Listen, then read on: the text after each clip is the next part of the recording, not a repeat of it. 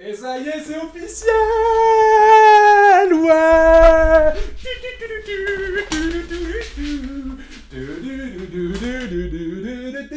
Et on voit mon cul Et ça y est, mesdames et messieurs, c'est officiel. Punaise, je suis super content. Je n'en plus. J'ai une poutre comme ça dans le slip. C'est un truc de psychopathe. Salut tout le monde et bienvenue pour cette nouvelle vidéo. C'est Pipi 300. Ah ouais. Ah, ça fait plaisir. On savait que ça allait arriver. On se doutait que ça allait arriver. Et c'était même quasiment sûr. Mais il y avait toujours un doute. Le doute de se dire que peut-être ça ne serait pas le cas. Que peut-être finalement ce n'était qu'un énième believe bien là, j'ai envie de dire I believe I can fly. Là, j'ai envie de dire là, le believe, il est bon. Justin Bieber. Je sais pas pourquoi je dis ça. Bref. Mesdames et messieurs, bonjour tout le monde. Et bienvenue pour parler de Crash Team Racing Nitro Food. Oh!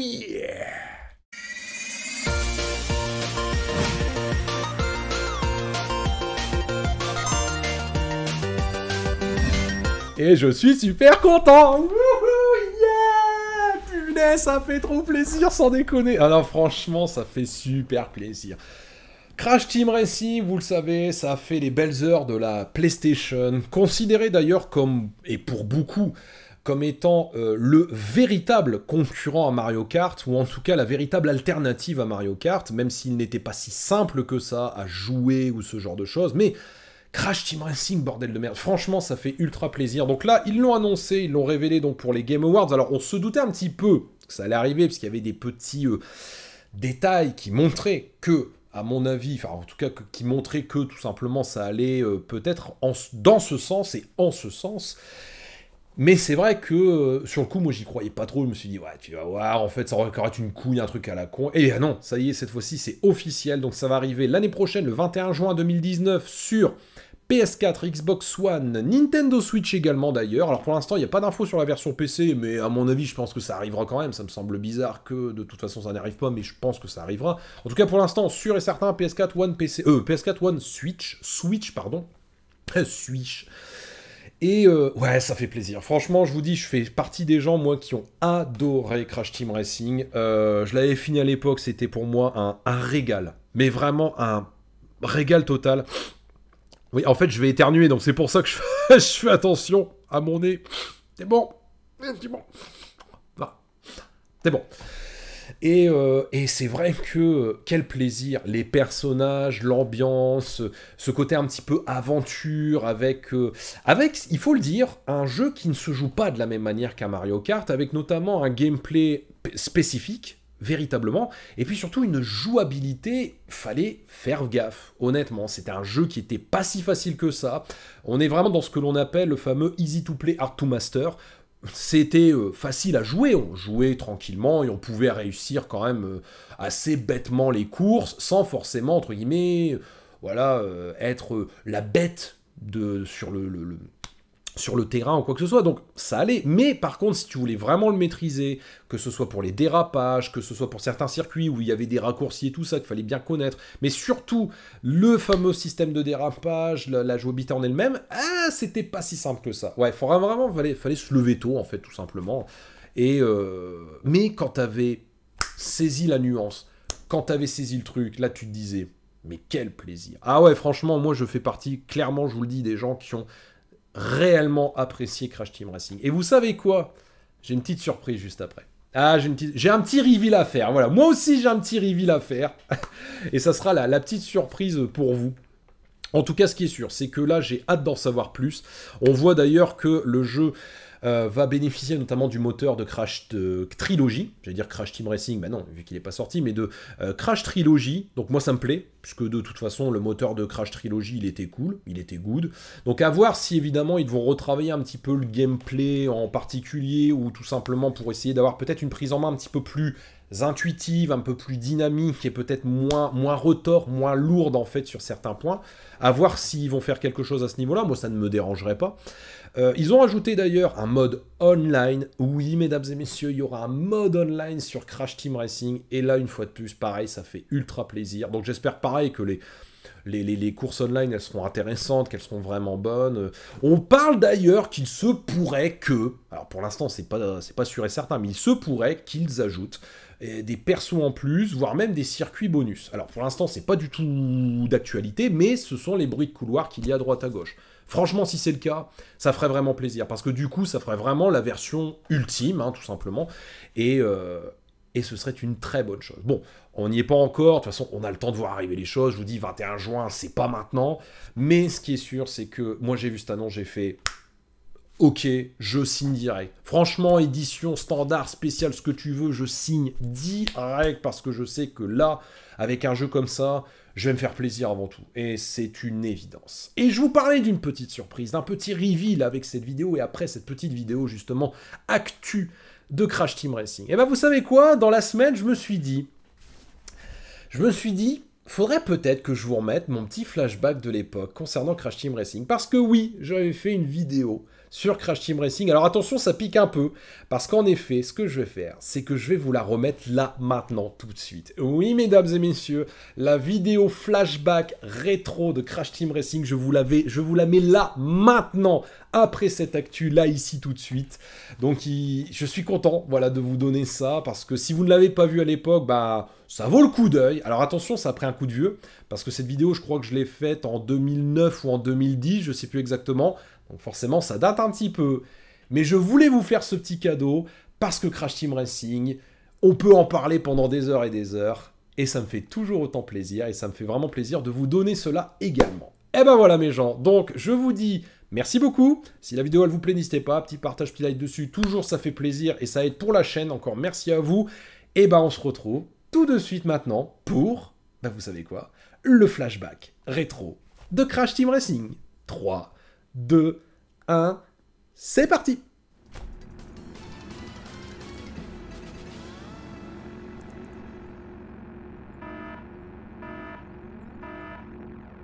Oh là là, même pas de super départ, hein. franchement, il abuse. Hein. c'est normal, c'est pas moi qui joue, donc forcément, je pas faire des super départs. Hein. Salut à tous et à toutes et bienvenue sur GameKyo, c'est BB300 et aujourd'hui un nouveau flashback. Et quel flashback? Je pense que là, les premières images, euh, vous avez compris. Vous avez compris sur quel jeu nous allons euh, jouer aujourd'hui. Un très grand jeu. Franchement, il est énorme ce jeu.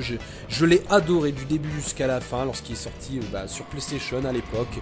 Avec les personnages de Crash Bandicoot. Il s'agit de Crash Team Racing. Oh yeah. Alors, Crash Team Racing, jeu édité par Sony, développé par Naughty Dog. Je présente plus le studio plus besoin de faire cela maintenant. C'est un jeu qui est sorti en octobre 99, et hein. eh ouais, ça fait, ça fait 10 ans. Eh ouais, ça fait 10 ans en fait. Ah bah, bah voilà, bah pour fêter les 10 ans de Crash Team Racing, une vidéo, un flashback sur Crash Team Racing. Voilà. Eh bah ça tombe bien. Je pensais pas. Bah oui, d'ailleurs c'est vrai, ça tombe bien. Donc c'est un jeu qui peut être joué jusqu'à 2 euh, en même temps, mais aussi grâce au multitap jusqu'à 4 en écran splitté. Et là je dis Alléluia Ensuite, euh, l'analogique est compatible. Vous pouvez jouer avec euh, euh, 3 blocs sur votre carte mémoire. En tout cas, il faudra 3 blocs, 1 à 3 blocs sur votre carte mémoire. Et donc je crois que c'est tout ce qu'il va y avoir sur la boîte. C'est un jeu de cartes évidemment, euh, qui dispose d'un mode solo, mode multi comme je vous l'ai dit. Et c'est tout. Le Peggy, il est où le Peggy? Enfin, Je le vois même plus sur la boîte. Ah oui, il est là. C'est donc un Peggy tout âge toutes les cases sont, sont remplies. Oui, rappelez-vous, c'est ces boîtes qui fermaient pas en plus, hein, c'était énorme. Donc voilà, alors je vais vous présenter tout de suite un petit peu le menu du jeu. Euh, un menu qui, comme vous voyez, est très classique. Mode aventure, c'est celui qui va vous permettre de passer plus de temps dans le jeu et notamment à débloquer plein de choses. Il me semble que dans le tas, il y a un des menus qui se débloque à la fin du mode aventure. Euh, le mode essai temps, c'est du time trial, très classique. Le mode arcade, donc ça c'est pour faire les courses hein, que l'on veut avec les personnages que l'on veut. Le mode joute vous permet tout simplement de faire des courses individuelles ou en couple, mais à partir de deux joueurs. Tout seul, vous ne pouvez pas. C'est exactement pareil pour le mode bataille. Il faut être au minimum 2 pour pouvoir y jouer. Au maximum 4. mode bataille, c'est le mode battle de Mario Kart, hein, tout simplement. Meilleur score, langue, album. Album, c'est simplement vidéo et photos sur ce Crash Bandicoot, sa conception, etc.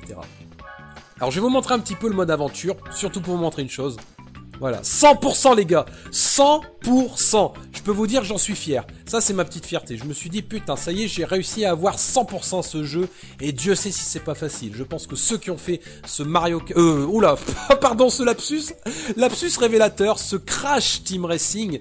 Ceux qui l'ont fait à l'époque le savent. C'est un jeu qui est pas facile, notamment dans ses derniers euh, défis. Faut savoir qu'à l'époque, j'avais quel âge, moi? Je devais avoir 10, 11 ans, quoi.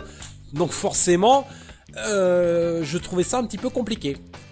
Et c'est normal. Bon, c'est clair qu'aujourd'hui, maintenant, le, jeu est un peu plus facile d'accès parce que forcément, avec le skill qu'on a, à chaque fois qu'on fait les courses, bah, forcément, ça devient un petit peu plus facile.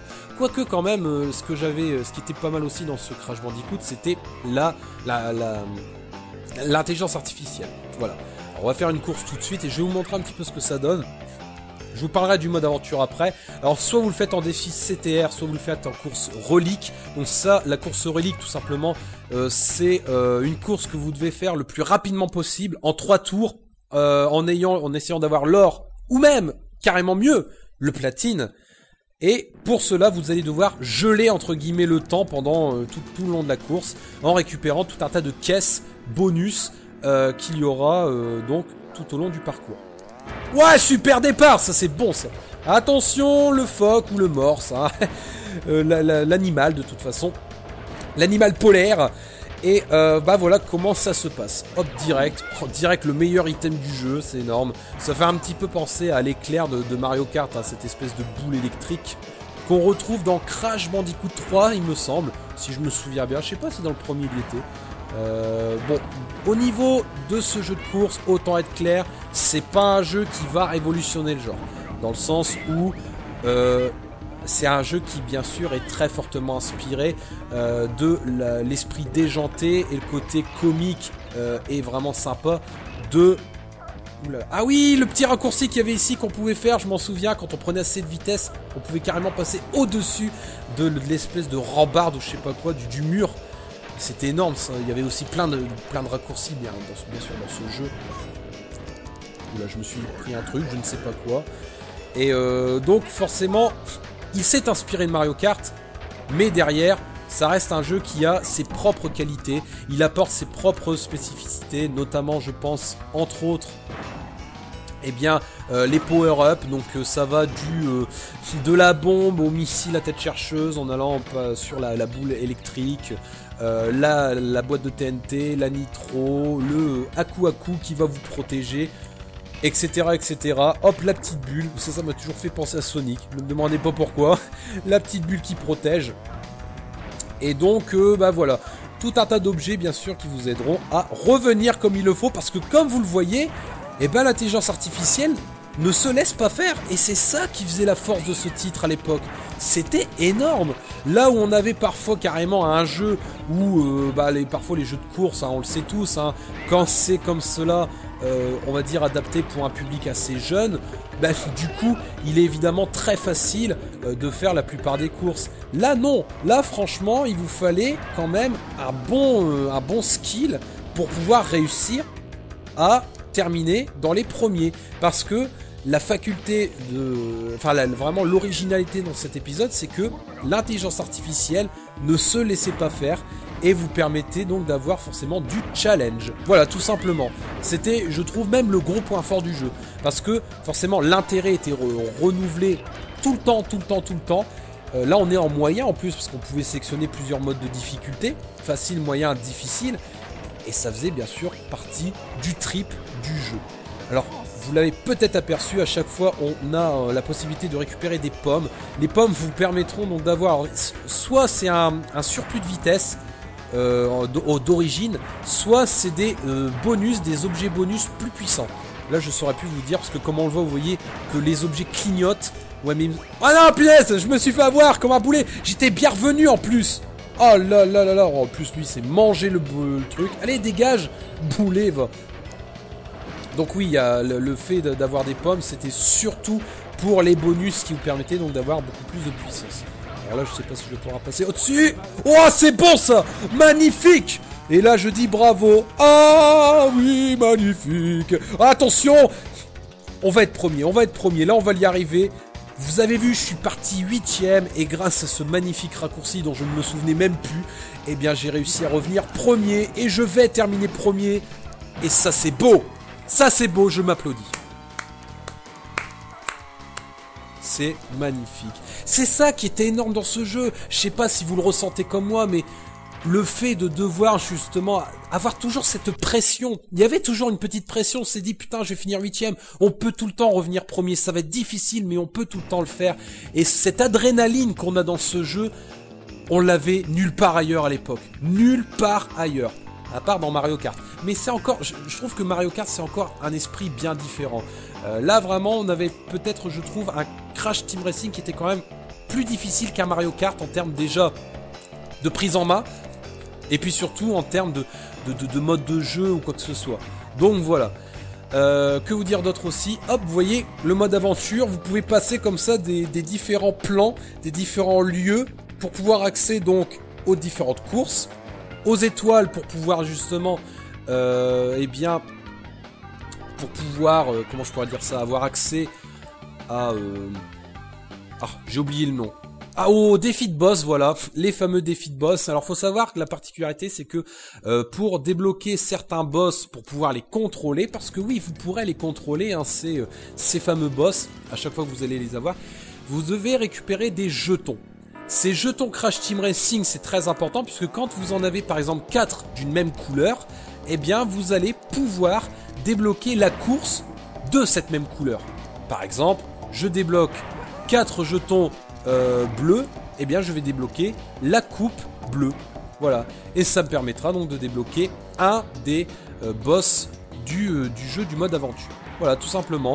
Et il faut savoir qu'il y a eu une grosse polémique, je me souviens à l'époque, où on a dit oui, mais Nitrous Oxide, parce que c'est lui le vrai boss de fin du jeu, vous le voyez, les amis de, de Crash vont l'aider dans cette quête pour sauver la Terre, mais aussi ses ennemis. On voit Nitrous, enfin Engine, euh, Néocortex, etc. Donc les, les ennemis, on va dire, euh, récurrents de Crash, bah, sont là aussi pour l'aider parce que le vrai méchant dans l'histoire, c'est Nitros Oxide. Le truc, c'est que tout le monde pensait qu'on pouvait le, euh, le débloquer à la fin. On a dit oui, c'est possible et tout ça. Eh bien, moi, je vous le dis, non, c'est pas possible. En tout cas, pas normalement. Si vous voulez l'avoir, faut, faut jouer tricherie et le débloquer grâce à l'action replay. Bien sûr, à vos risques et périls, hein, parce qu'avec l'action replay, ben, on sait jamais. Peut-être une sauvegarde corrompue. Hein.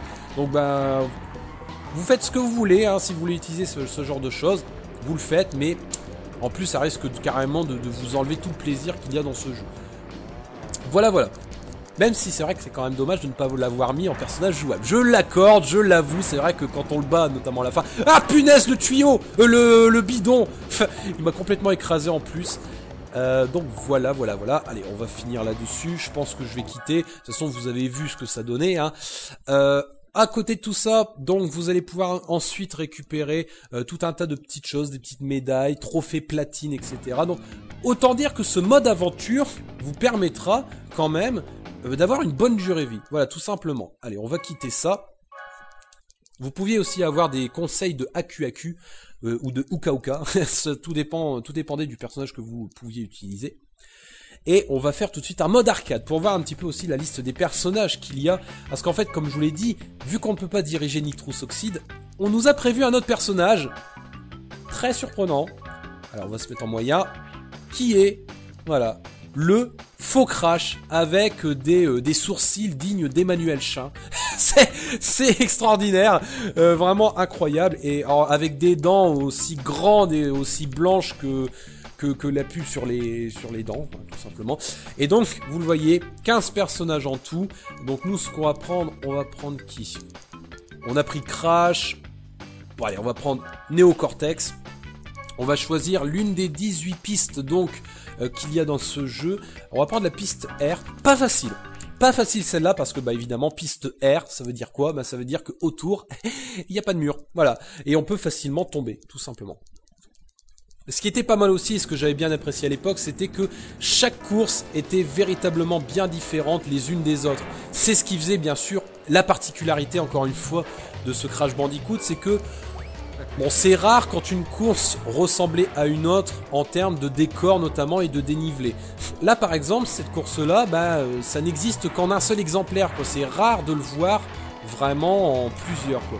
Alors attention, par contre, à chaque fois que vous allez déraper, vous le voyez, euh, j'ai utilisé le, dérapage, d'ailleurs je vous en ai pas parlé, mais euh, vous avez une petite jauge qui est en bas à droite.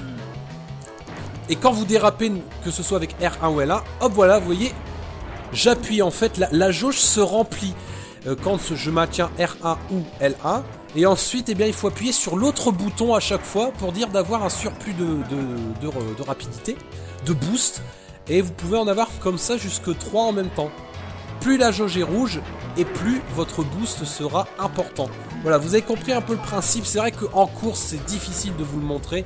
Mais voilà, si par exemple vous faites avec L1, eh bien, il faudra appuyer 3 fois sur R1. Euh, et, vice versa bien sûr. Si vous, faites ça avec R1, il bah, faudra faire pareil avec L1 trois fois. Voilà, voilà. Euh, faut savoir quand même que ce système de dérapage, eh bien, il n'était pas facile à prendre en main. C'est là où, encore une fois, c'est un jeu qui se démarquait réellement euh, d'un Mario Kart, tout simplement parce que il avait vraiment son propre gameplay, sa propre jouabilité bien, bien à lui, et surtout, ce qui était pas mal, c'est qu'on avait donc du coup des personnages qui avaient un comportement bien spécifique aussi. Allez, je me suis mangé la bombe, je suis tombé par terre, euh, je suis tombé euh, carrément du, circuit, c'est magnifique.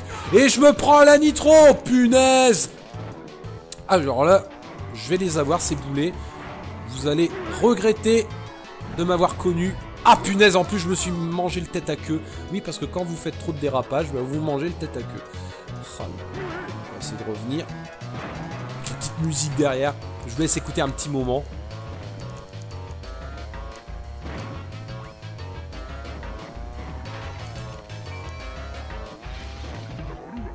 Voilà, vous, avez entendu, c'est vraiment, sympa. Hein. Et euh, je pense que je vous ai maintenant tout dit de toute façon sur, la, sur le jeu en lui-même. Euh, ouais, je pense que je vous ai tout dit. Hein. De toute façon, franchement, moi je vous le dis clairement d'emblée, c'est un jeu que j'ai vraiment apprécié parce que je trouve qu'il a vraiment de bonnes qualités euh, et qu'il est surtout très plaisant à jouer. Je veux dire, il y a toujours ce côté plaisant qui fait que ben, ça en fait vraiment une force. Autre particularité, je, ne pense pas l'avoir dit, chaque fois que vous atterrissez, eh bien vous avez un surplus de boost, encore une fois. Faut croire que le boost, il n'y a que ça dans le jeu. Oh punaise, je me suis mangé encore une fois le mur. Allez, Uka Uka, protège-moi de ta force. Toi, Crash. Ah non, c'était pas Crash. Mais ça c'en est un autre de toute façon, je l'ai carrément dégagé. Alors là, la boule électrique, ça fait mal. Euh, donc euh, voilà. Alors, c'est vrai qu'à l'époque, franchement, j'avais été plutôt, euh, plutôt impressionné par la qualité du graphisme, du grain utilisé, très fidèle, très fidèle euh, à l'esprit Crash Bandicoot, et c'est ça, je pense, qui était le plus important. Il fallait justement proposer, un graphisme qui justement permettait de se rapprocher de l'esprit de Crash Bandicoot sans pour autant faire de plagiat direct à Mario Kart. Eh bien, c'est gagné. Voilà, tout simplement, c'est gagné puisque là, on, est vraiment dans l'univers de Crash avec des power-ups bien spécifiques de l'univers de Crash, des personnages de l'univers de Crash, enfin bref, tout l'univers de Crash, donc ça c'est bon. Voilà, tout simplement. Il y a là, il n'y a rien à dire. Hein. En plus, la plupart des circuits étaient vraiment super bien foutus. Level design, euh, enfin le design des, courses en général était vraiment bien trouvé. Euh, c'était fluide. Pas de P, pas un seul P de RAM, ça c'est quand même appréciable heureusement que j'ai mis mon, euh, mon petit bouclier, parce que sinon j'allais me faire avoir. Euh, la modélisation en elle-même des personnages était plutôt convaincante, bah, on les reconnaissait tout de suite hein, de toute façon. Donc voilà, c'était ça qui, était bien bien sympa, bien fun, euh, avec des petites animations tordantes de rire à chaque fois. Bon, il y avait quelques petits bugs de collision, notamment quand on, envoyait par exemple une fiole, on envoyait une fiole euh, rouge ou verte dans, dans le mur, bah, parfois il traversait le mur, on le revoyait plus après. On se disait putain qu'est-ce qui s'est passé? Bah oui, bah tant pis. Hein. La pyramide Papou elle est pas mal. Encore un bon niveau, hein, encore. Mais je dirais que c'était les seuls petits problèmes. Bon, certes, après, techniquement, oui, c'est bon, c'était un petit peu aliasé. Euh, il n'y avait pas trop de clipping, je trouve, par contre.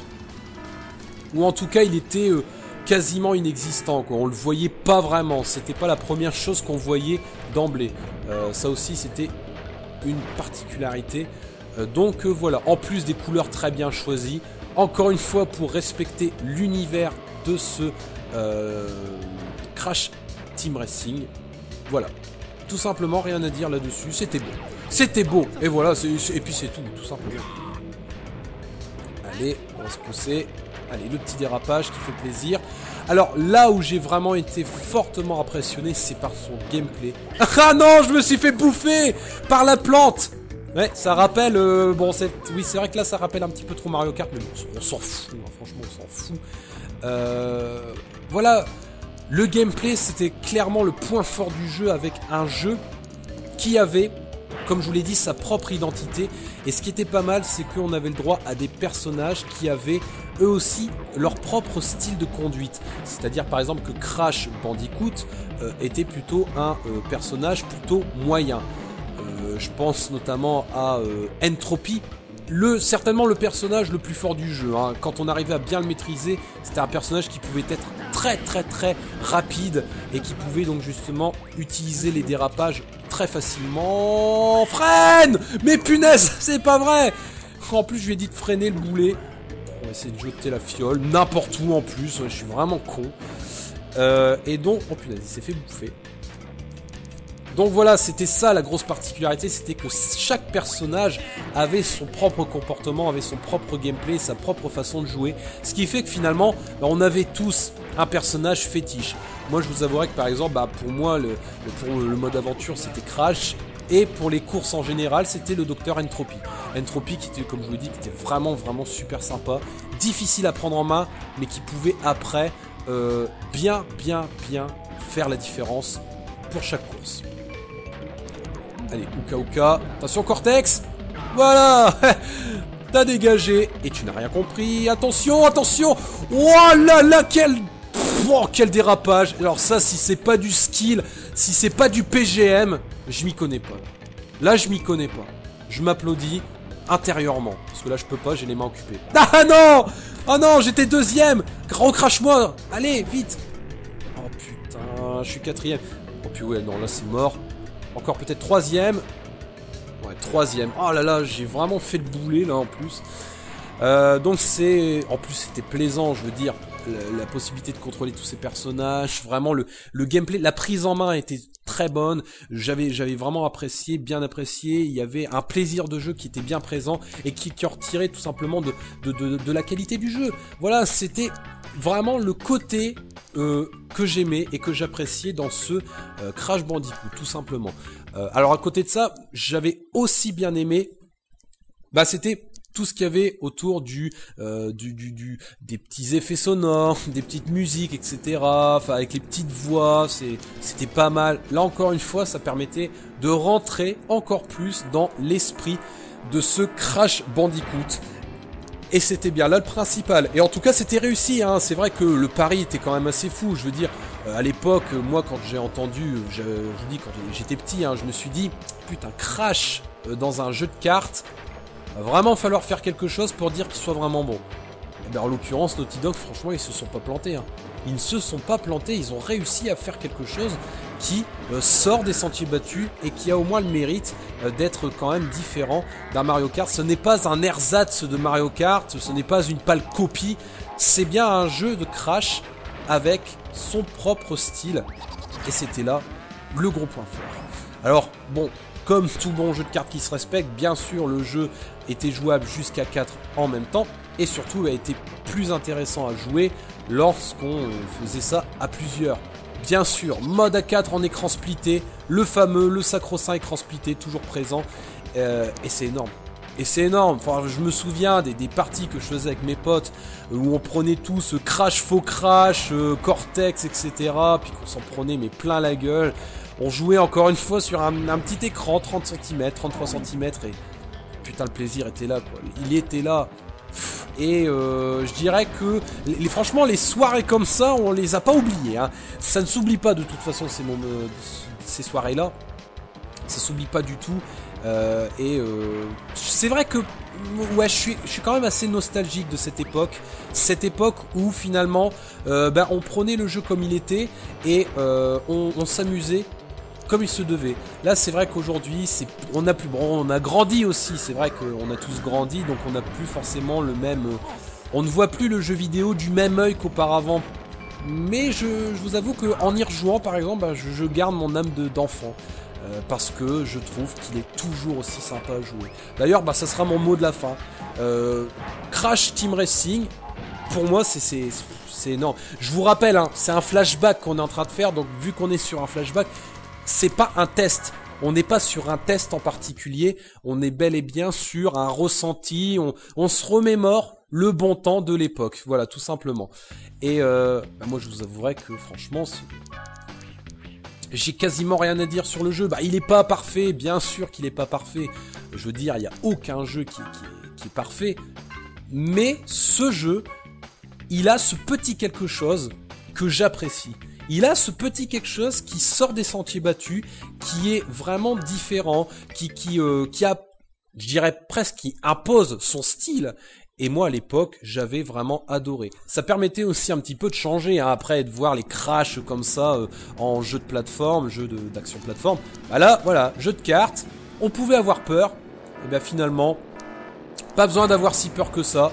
Le jeu s'en tire très bien très fun, vraiment jouissif à jouer, super plaisant, des niveaux très bien foutus, très bien agencés avec des tas de pièges, des, des, euh, des raccourcis, enfin il y avait vraiment de tout quoi, des personnages à foison en veux-tu en voilà et un plaisir de jeu indéniable.